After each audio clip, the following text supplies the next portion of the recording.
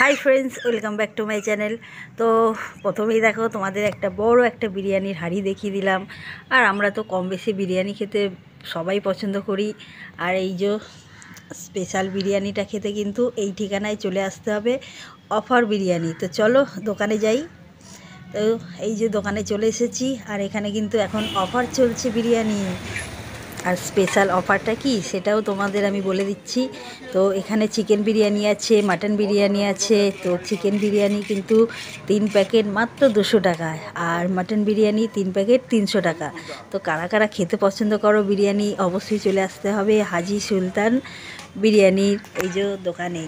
তো এই দোকানটা কিন্তু একদম যাদবপুরের যে স্টেশন আছে একদম মেন রোডের গায়ে। তো দেখতেই পাচ্ছ রাস্তা দিয়ে গাড়ি যাচ্ছে।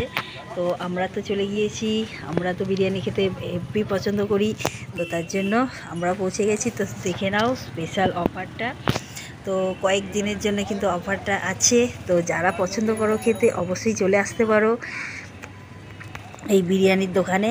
বিরিয়ানি খাওয়ার জন্য স্পেশাল বিরিয়ানি আর অফার বিরিয়ানি, এর চেয়ে কিছু হয় না কিন্তু। তো চলো, আমরা তো বিরিয়ানি খেতে খুব পছন্দ করি, তো তার জন্য আমরাও চলে এলাম। বিরিয়ানি খেতে।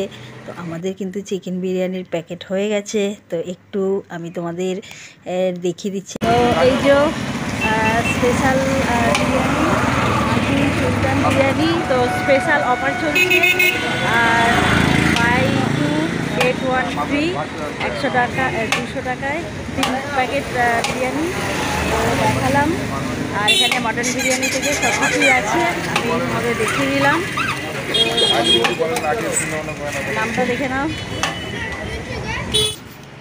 আর আমাদের তো এই যে বিরিয়ানি নেওয়া হয়ে গেল, আমরা এবারে টাকা দিয়ে চলে আসব বাড়িতে। তো বাড়িতে এসে জমিয়ে বিরিয়ানি খাওয়া হবে।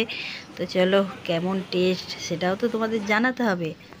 তো এখন বিরিয়ানিটা টেস্ট করে এখন জানাব যে টেস্ট কেমন হয়েছে বিরিয়ানিটা। কেমন হয়েছে? ভালো হয়েছে? আমিও খেয়েছি কিন্তু দারুণ টেস্ট হয়েছে। তো ঋষভ আমাকে গালে দিয়েছিল টেস্ট ভালোই হয়েছে। তো আমরা ভেবেছিলাম কিন্তু অফার বিরিয়ানি কেমন হবে না টেস্ট কেমন হবে কিন্তু অসাধারণ টেস্ট হয়েছিল। তো অবশ্যই তোমরাও যেতে পারো। আর এই যে ঠিকানাটা আরও একবার তোমাদের দেখিয়ে দিলাম।